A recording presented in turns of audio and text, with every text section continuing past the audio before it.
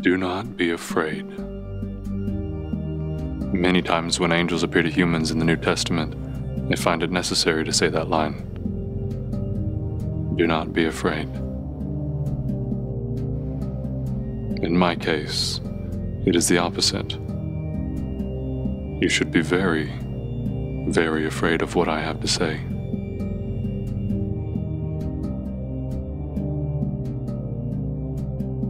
The Apostle John tells of his apocalyptic vision in colorful, symbolic language that has always been challenging for his readers. Even the finest scholars argue about much of the meaning of Revelation.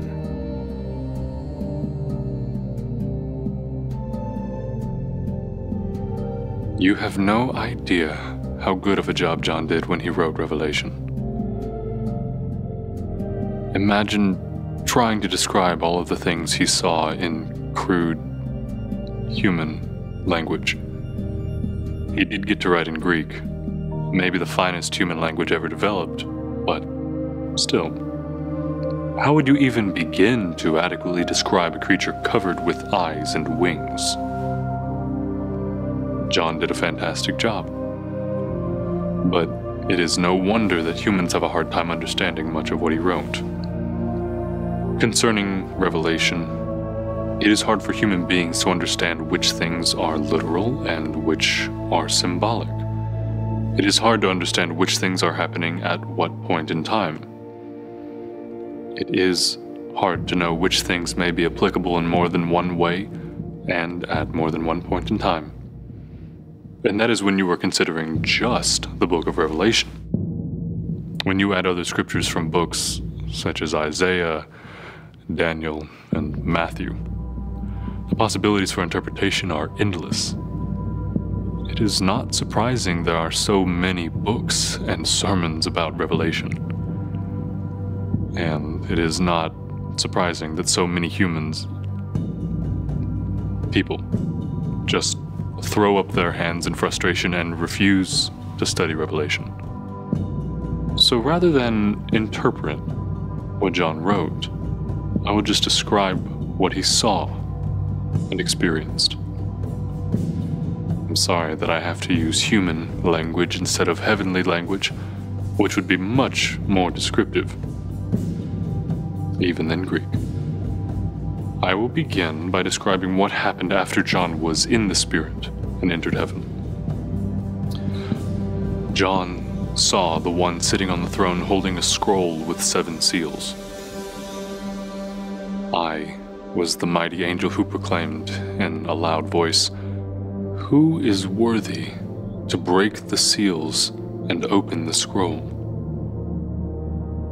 When no one in heaven or earth was worthy, John wept in despair. But one of the elders in heaven told John that Jesus was worthy, and John saw that it was so.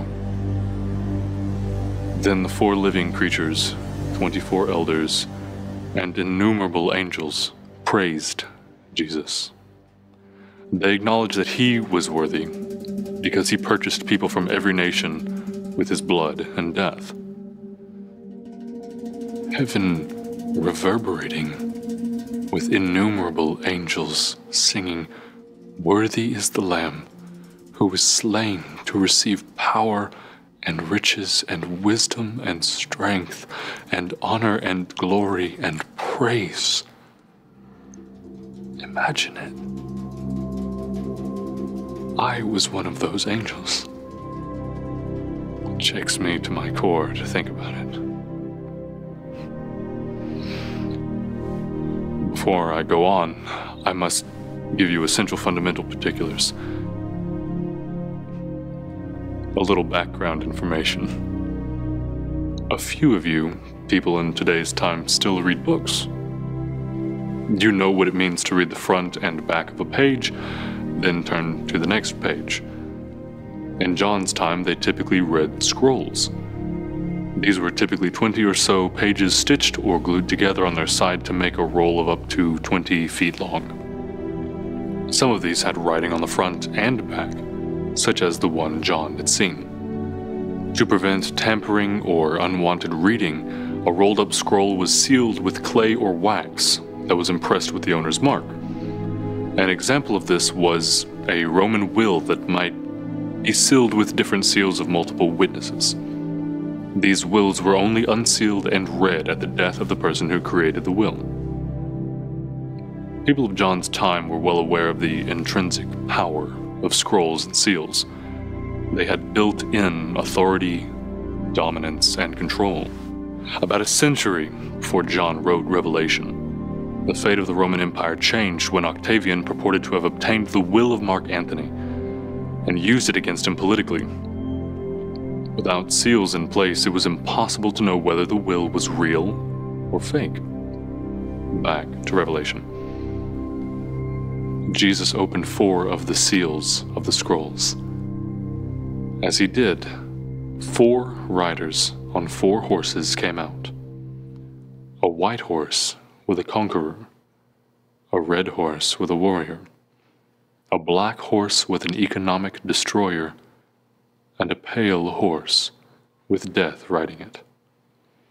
These riders clearly had the power to bring tremendous devastation on the earth. This scene is where your term, the four horsemen of the apocalypse, comes from.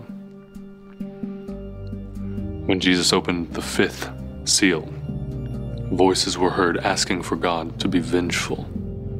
These voices were of martyrs that had died because of their faithfulness to the Word of God. They were told to be patient until the number of martyrs was completed. Jesus opened the sixth seal, and chaos ensued.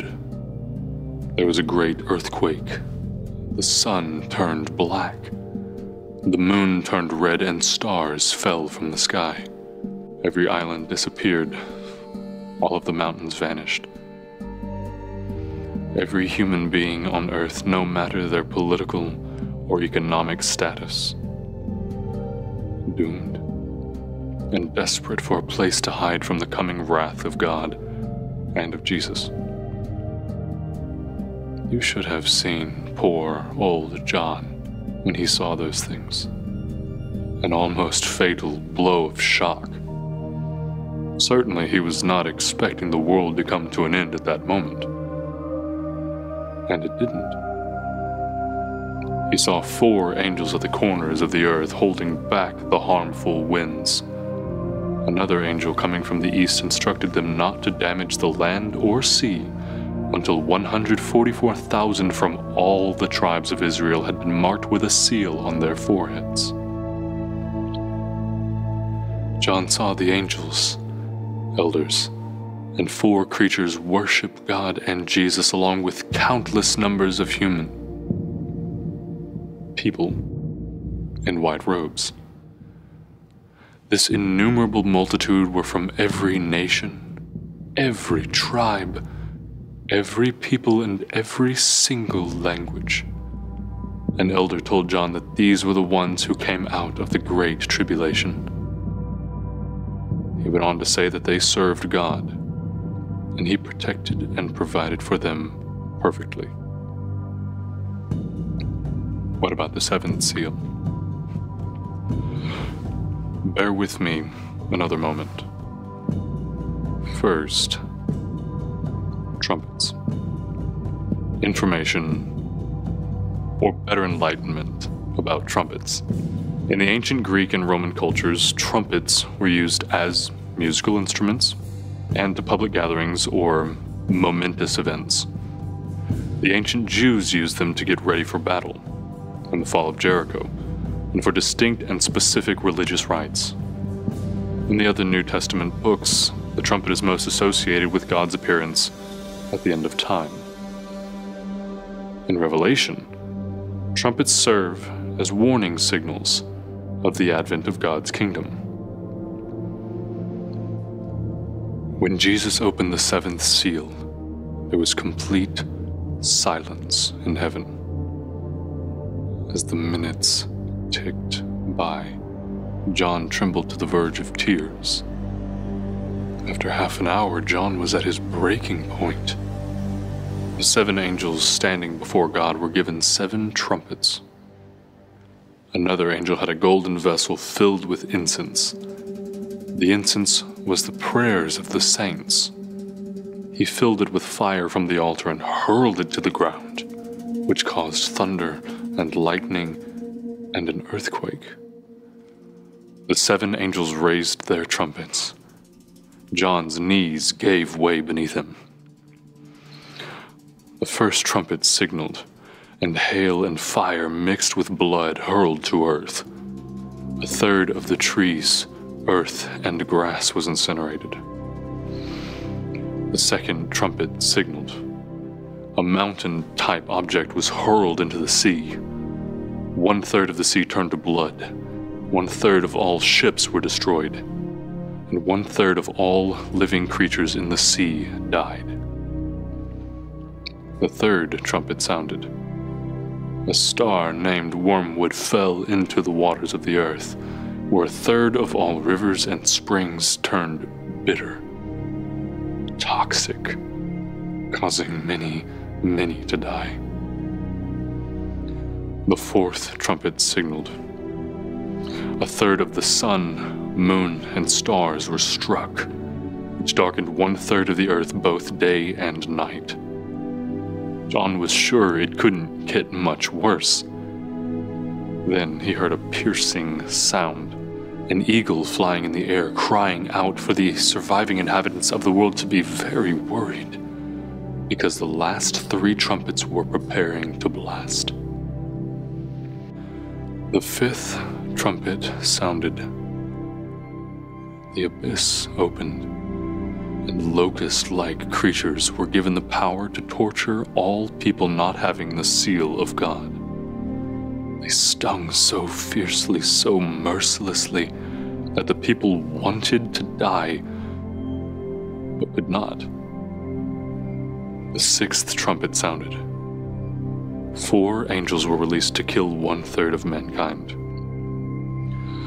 John heard that the number of mounted troops used to do this was 200 million. What exactly is one third of mankind? For you, it's 2.53 billion people, equivalent to the annihilation of the entire population of North America, Europe, and all of China. No one left. Every person gone. Dead. In John's time, people were used to bloodshed and violence. I would expect your present day sensibilities to be shocked by the vast amount of death and destruction I've described. Why would a loving God do all these violent things? The answer was found after the sixth trumpet was sounded. Even after all of the pain, all of the violence, the bloodshed, the survivors refused to repent of worshiping idols and demons. God was doing everything he could to bring them to repentance, but they would not change their ways. They would not turn away from committing murder, practicing witchcraft, sinning sexually, or stealing. So the woe of the sixth trumpet continued. Another angel as mighty as myself came down from heaven. He shouted, and the seven thunders spoke. John heard it, but he was not allowed to write what he heard. The angel announced that there would be no more delay. The mystery of God would now be accomplished. John was instructed to eat the scroll in the angel's hand, and then ordered to prophesy again about many peoples, nations, languages, and kings. John was ordered to measure the temple of God and informed that people would trample the holy city for 42 months. God would give power to two witnesses for 1,260 days to prophesy and to punish the peoples of the earth. After that time, the beast from the abyss would kill them, and all people will celebrate their death for three and a half days. however. The breath of life re enters the two witnesses, and God calls them up to heaven. Their enemies look on in wonder and terror when an earthquake hits and a tenth of Jerusalem collapses. The survivors finally give glory to God. This was about half of John's time in heaven. A good stopping point. Read the Revelation of John. Understand the details of what I told you about the seals and the seven trumpets. One more. Then the seventh trumpet sounded. Loud voices announced that the kingdom of the world had become the kingdom of Jesus, and he will reign forever and ever. The 24 elders rejoiced in the fact that judgment had come, and it was time to reward the prophets, saints, and all who reverenced the name of God. God's temple in heaven was opened.